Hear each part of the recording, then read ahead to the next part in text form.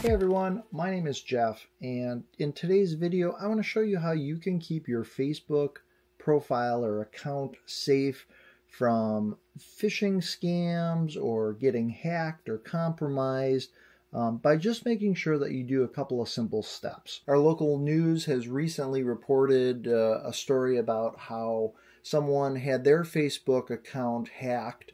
Um, I've also seen some of our friends online who've been getting their accounts compromised as well. So I just want to quick show you the Better Business Bureau website here, the BBB. Their accreditation and rating of Facebook is currently a rating of an F. And it says here reasons for the rating failure to respond to 8,615 complaints filed against the business. Um, I would think a lot of these complaints are people that are getting their accounts compromised.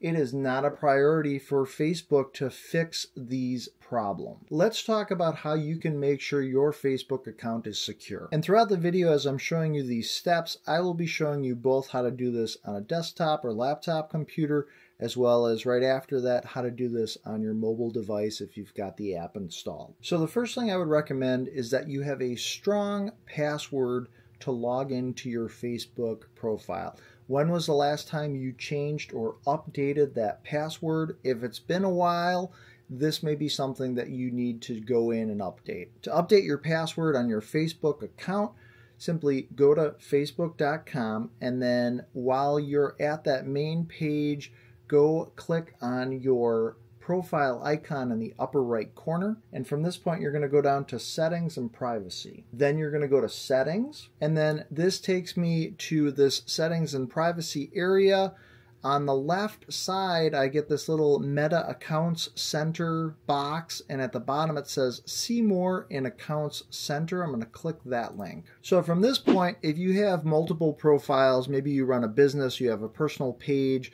if you have Facebook, if you have Instagram, you're going to see all those different accounts. But on the left side here under Account Center, you want to look for account settings and then password and security. I'm going to go ahead and click on that. So from this point, you get this password and security area, and right here is where you can go in and change your password. To change or update your password in the Facebook mobile app, make sure you're on the main home page. I know this because there's a house in the upper left corner that is highlighted. From here, I'm going to tap on my profile icon, which is located in the upper right portion of the screen. Once I've tapped on my profile icon, this takes me into the menu area. I want to tap on the gear icon located in the upper right. Now from this point, you can search the list of items that's all the way at the bottom. Essentially, you're looking for the security and privacy settings. What is easiest for me is just to go to the search bar that's at the very top for searching settings and I'm going to type in password. Once I type that in, all of a sudden I see password and security show up under my list of items. I'm going to go ahead and tap on that. And then right here I can see password and security. My first option is to change password. So I can go ahead and tap on that, follow the prompts to change my password. A strong password is typically something that is 12 characters long uh, 14 characters is better. Uh, and it's a combination of uppercase letters, lowercase letters, numbers, and symbols. I actually have used password vaults to help me remember passwords. One of the programs I like to use is 1Password, and I will leave a link down in the video description if you want to check this out. This is what I use to store all of my passwords for all the different things that I have password logins for. This eliminates me having to write these down in a physical book and I can just go into this app and it saves all of my passwords. If you're having trouble coming up with a password that's going to be longer and complicated with numbers and symbols, you can use a website like onepassword.com forward slash password dash generator, which I'll link to down in the video description. But on this page, you can choose a random uh, characters, how many characters you want. Like I said, 12 to 14 is great. Add numbers, symbols, and now this has randomly generated a password that I can use. If I don't like this and I want to refresh it, I can figure out which one I really want, and then I can just go to copy here. It now copies that password, and I can paste it in for my login.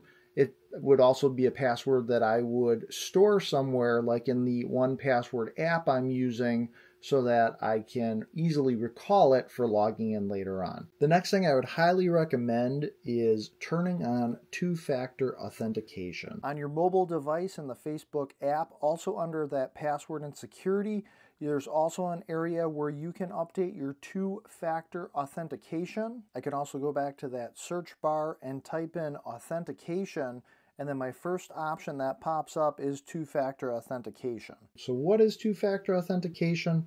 Essentially what this is doing is when you try to log into your Facebook account, if you have two-factor authentication turned on, it is going to send you an email to the email that you registered your account with, uh, or it's going to send a text message code to your phone number. Um, essentially, it's sending you a code that you'll either need to check your email or your phone number for that code and then enter that code in before it's going to let you log into your Facebook account. What this does is it prevents somebody that might be trying to hack into your Facebook account from being able to log in because you're going to get a notification, you're going to get an email or a text message saying, Hey, are you trying to log into Facebook right now? And if you're not, you can just say no to that notification. A lot of people do not have two factor authentication turned on and so if somebody gets your password and they've got your email for logging into your Facebook account, now they've got access to your account. They can change the password, change the email. Your account is compromised. You have this extra step by doing two factor authentication that will stop that from happening. So, one of the ways a lot of people's accounts become compromised is through a system called phishing with a PH. And essentially, there's many different forms of this types of phishing.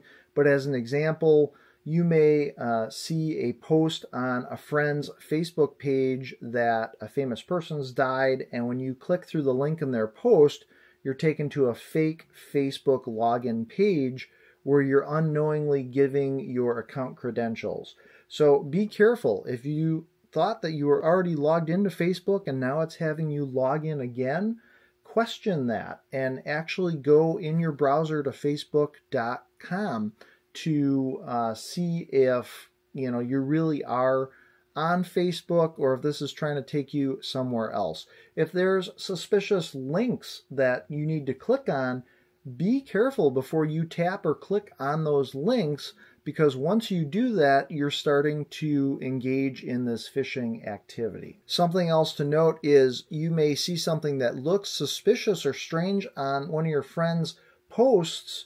Look and see if there's other comments already made on that post. A lot of times, other people can spot if it's a fake post or if it's suspicious, and they're going to tell you right there this account has been compromised or hacked.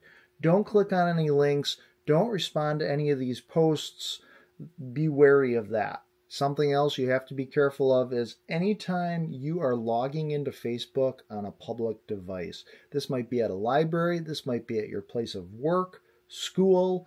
If you are logging in, you have to make sure that that account is completely logged out after you're done using it because if you don't log out, somebody else, the next person that's accessing that device, now has complete access to your Facebook profile they could easily go into your change password under settings and change your password, locking you out of your Facebook account. Also, making sure that your browser is updated and the most up to date version on your device. I like to use Google Chrome, and under Google Chrome in the upper right are these three dots. I can go ahead and click on that. Then from here, I can go down to the bottom where it says Settings. And on the bottom left, if I go to About Chrome, I can see here that my Chrome is up to date. If it wasn't, it would give me a link here to update it. So you can go into your Apple App Store or the Google Play Store, search for your app, Facebook, and when you bring that up, usually under the description, it'll tell you if it's up to date or if it needs to be updated. Um, you always want to make sure that you have the latest version of the Facebook app updated. And you can always go to facebook.com forward slash help to report things. Over on the left side here, you'll see I can report abuse, report a problem with Facebook, and more.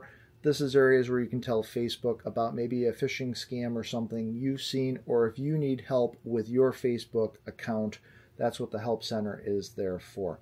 If you found the information in this video useful, take a second, smash that like button. If you think somebody else could use the information in this video, please share this video with them. My hope is that everybody can keep their Facebook accounts secure and we can avoid having more accounts compromised. Hey, I've also done a whole bunch of other tutorial videos, including Facebook and Google, things how you can download photos and all sorts of stuff. Be sure to check out some of those videos. They will also be linked down in the video description. I do weekly videos like this on my channel, and I'd love to have you come along with me. As always, be sure to make every day awesome, and I will see you in the next video.